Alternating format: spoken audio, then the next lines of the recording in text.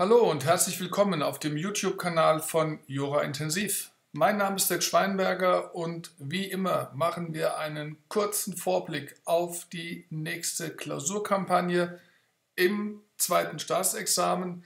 Wir schauen auf die Klausuren im Juli 2020 und schauen kurz auf die Frage, was in der sogenannten S2-Klausur wohl drankommen könnte, eine Urteils- oder eine Revisionsklausur.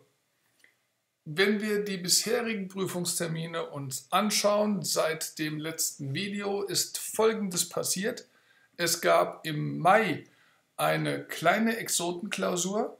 Es war zwar wieder eine Revisionsklausur, aber es war eine Revision aus der Perspektive der Staatsanwaltschaft.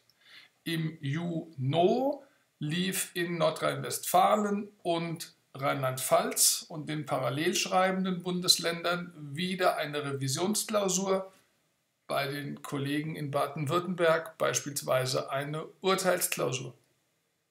Was heißt das jetzt für den Juli-Termin? Alle, die sich die bisherigen Videos auch schon angeschaut haben, wissen, dass ich seit längerer Zeit die Auffassung vertrete, dass es allerhöchste Zeit wird, dass mal wieder eine Urteilsklausur kommt und deswegen, ich weiß, ich sage das schon seit mehreren Videos, es wird aber irgendwann die Urteilsklausur kommen. Und mit jedem Termin, in dem sie nicht gekommen ist, wird es immer wahrscheinlicher, dass die S2-Klausur eine Urteilsklausur sein wird. Also auch für den Juli-Termin. Dringender Appell.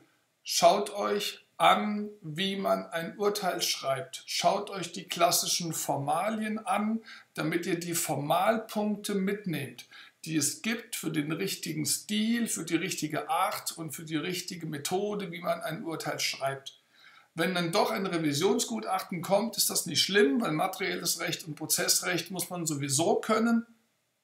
Aber die Frage, wie man ein Urteil schreibt und wie man richtig formuliert, das ist immer nochmal ein besonderer Prüfungspunkt. Lange Rede, kurzer Sinn.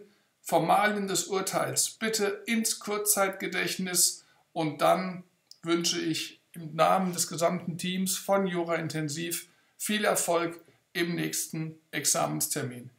Mein Name ist Dirk Schweinberger. Alles Gute und toi toi toi.